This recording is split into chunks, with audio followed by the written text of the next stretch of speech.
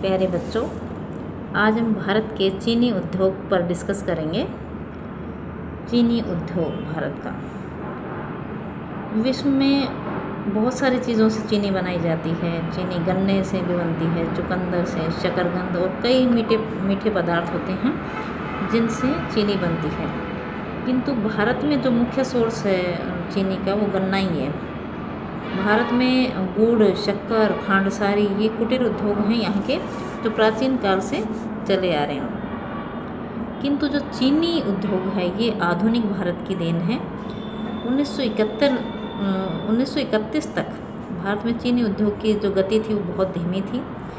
1932 में ब्रिटिश सरकार ने चीनी उद्योग को संरक्षण देने के उद्देश्य से आयात चीनी के आयात पर टैक्स लगा दिया। अब इससे क्या हुआ कि ये जो संरक्षण था, ये 1950 तक चलता रहा। इससे भारतीय जो शुगर इंडस्ट्री थी, उसको बहुत ज़्यादा बल मिला, उसको प्रोत्साहन मिला और 1931 में भारत में चीनी मिलों की संख्या केवल इकतीस थी और यहाँ पर 1.63 लाख टन चीनी ही उत्पादित होती थी।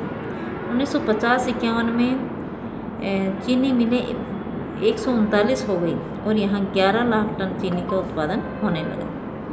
1906 सॉरी 2006-7 में चीनी मिलों की संख्या 506 हो गई और दो सौ बयासी लाख टन चीनी का उत्पादन हुआ। तो इस प्रकार से हम कह सकते हैं कि चीनी का उत्पादन निरंतर बढ़ता जा रहा है। इस समय भारत में सूती वस्त्र उद्योग के बाद यदि कोई दूसरा सबसे बड़ा कृषि आधारित उद्योग है तो ये हमारा चीनी उद्योग ही है। भारत का जो गन्ना है गन्ने के उत्पादन की दृष्टि से भारत विश्व में प्रथम स्थान रखता है। किंतु चीनी के उत्पादन की दृष्टि से भारत विश्व में क्यूबा के बाद दूसरा स्थान रखता है।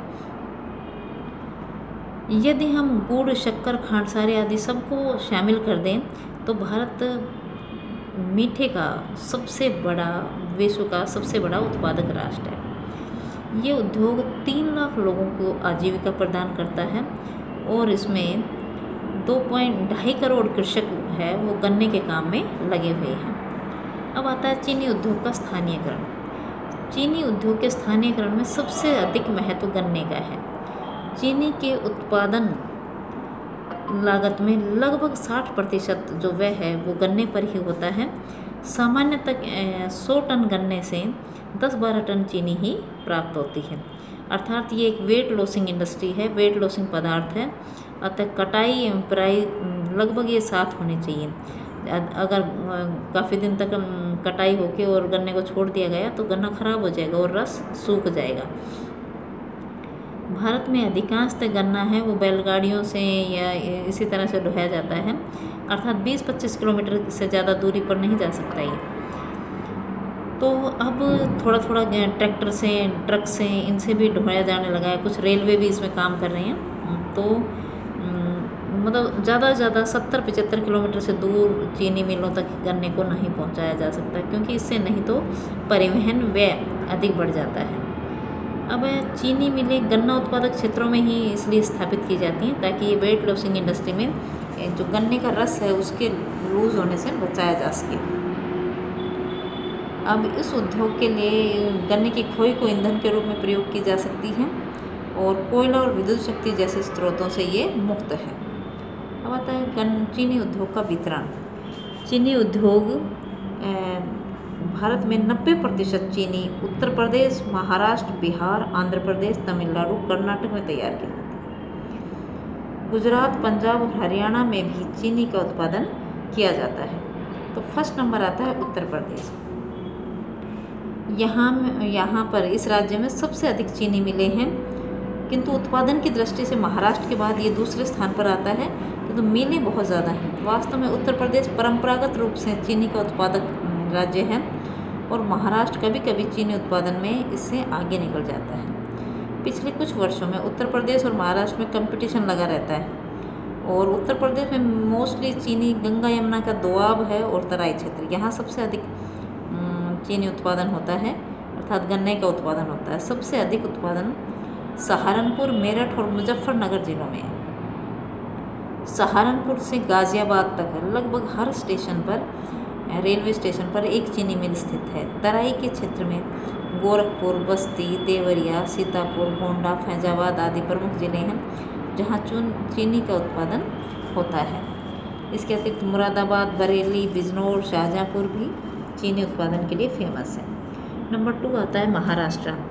परंपरागत रूप से महाराष्ट्र दूसरा बड़ा चीनी उत्पादक राज्य है, परंतु कभी कभी ये प्रथम स्थान भी ले लेता है। यहाँ देश की 20 प्रतिशत मिलें हैं और 32 प्रतिशत चीनी तैयार की जाती है। अहमदनगर यहाँ का सबसे प्रमुख क्षेत्र है। यहाँ ग्यारह मिलें हैं। अन्य उत्पादक ज़िले कोल्हापुर है। पुणे, सतारा, दक्षिणी सतारा आदि हैं। नेक्स्ट है आंध्र प्रदेश। आंध्र प्रदेश में चीनी का उत्पादन पूर्वी व पश्चिमी गोदावरी, कृष्णा, विशाखापट्टनम और निज़ामाबाद व हैदराबाद जिलों में होता है। पिछले कुछ वर्षों में आंध्र प्रदेश ने चीनी के उत्पादन में उल्लेखनीय उन्नति की है। नेक्स्ट आता है कर्नाटक। यहाँ बेलगाम रायचूर, पांडवपुर, रामेश सम्मेश्वर हासपेट, मुनीराबाद और गंगावती यहाँ प्रमुख उत्पादक ज़िले हैं। नेक्स्ट है बिहार। बिहार में चंपारण, सारण, मुजफ्फरपुर, दरभंगा और पटना में भी चीनी का उत्पादन होता है। इसके अतिरिक्त तमिलनाडु में भी बहुत सारा चीनी मिले हैं, जिसमें कोयम्बटूर दक्षिणी अरकाट और तिरुचिरापल्ली आदि प्रमुख हैं।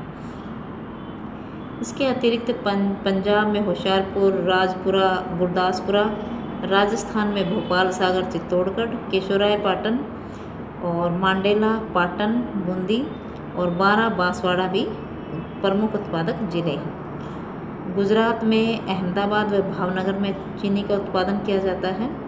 अब चीनी उद्योग का दक्षिण की ओर स्थानांतरण।